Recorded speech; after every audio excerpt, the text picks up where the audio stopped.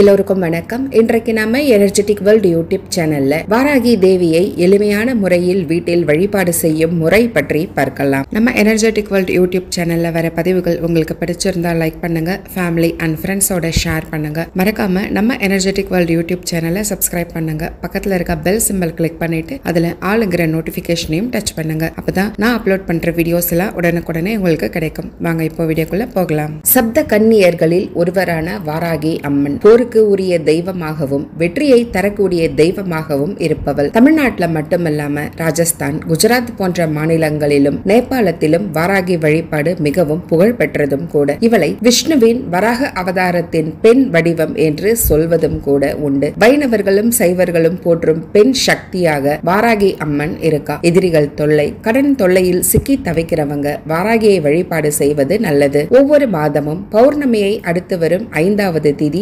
தேய்பிறை பஞ்சமி. தேய்பிறை பஞ்சமி வாராகி அம்மனை வழிபட உகந்த நாள். வாராகி எதிரிகளிடம் இருந்து நம்மை காத்து அருளக்கூடிய தெய்வம். அதோடு வாராகியை வழிபாடு செய்யறதுனால மனதில் தைரியமும் தன்னம்பிக்கையும் பிறக்கும். அம்பிகையின் படைக்கு படை தளபதியாக இருக்கக்கூடிய வாராகி அம்மன் அளவில்லாத கோபம் கொண்டவள். அதே நேரம் தன்னை நம்பிக்கையோடு வணங்கும் பக்தர்களுக்கு அளவில்லாத அன்பையும் அருளையும் வாரி வழங்கக்கூடிய தெய்வம். வராக முகமும் பெண்ணின் உடலும் கொண்டு பெரிய சக்கரத்தை கரங்களில் கொண்டு கொண்டவள். எட்டு கரங்களை உடையவள். வாராகி அம்மனை வழிபடுவதற்கு மிகவும் ஏற்ற நாட்கள்னா பஞ்சமி பௌர்ணமி அமாவாசை. வாராகி அம்மனை குங்குமம் மற்றும் செந்நிற பூக்கள் கொண்டு அர்ச்சனை செய்யறதுனால உடனடியாக மனம் குளிர்ந்து நாம் வேண்டும் வரங்களை தரக்கூடியவள். வாராகிக்கு உரிய நிறம் பச்சை என்றும் அவளை போற்றி துதிக்கும் நூல் வாராகி மாலை என்றும் சொல்லப்படுது. வாராகி அம்மன் வழிபாட்டினை மாலை நேரத்தில் தான் செய்யணும். மாலை ஆறு முப்பது மணிக்கு மேல் வாராகி வழிபாட்டை வீட்டிலேயே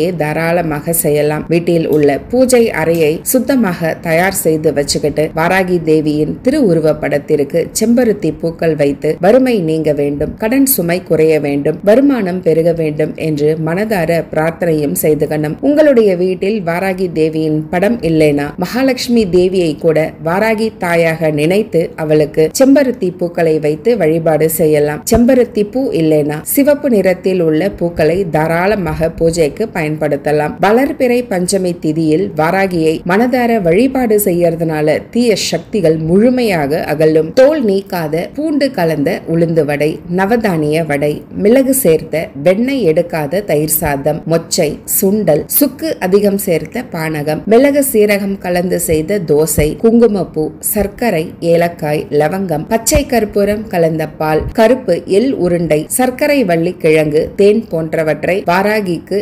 தைரியமாக வைக்கலாம். வாராகி அம்மனை வழிபாடு செய்யறதுனால மாங்கல்ய பலமும் வியாபார விருத்தியும் அதிகமாகும். நோய்கள் நீங்கி ஆரோக்கியமான வாழ்க்கை கிடைக்கும். எதிரிகளின் தொல்லை விலகும். வழக்கு வீடு நிலம் போன்ற சிக்கல்கள் நீங்கும். கடன் சிக்கல்கள் அறவே ஒழியும். மனதில் தைரியம் பிறக்கும். கேட்ட வரங்கள் கிடைக்கும். குழந்தை பாக்கியம் மற்றும் கல்வியில் முன்னேற்றம் நிச்சயமாக கிடைக்கும். இந்த பதிவு உங்களுக்கு பிடிச்சிருந்தா நம்ம வீடியோக்கு ஒரு லைக் போடுங்க. நம்ம சேனல் பார்க்குற சகோதர சகோதரிகள் ப்ளீஸ் நம்ம சேனல் சேனலை சப்ஸ்கிரைப் பண்ணுங்க. மீண்டும் வேற ஒரு நல்ல தலைப்போடு அடுத்த வீடியோவில் சந்திக்கலாம். நன்றி வணக்கம். உங்கள் அன்பு தோழி.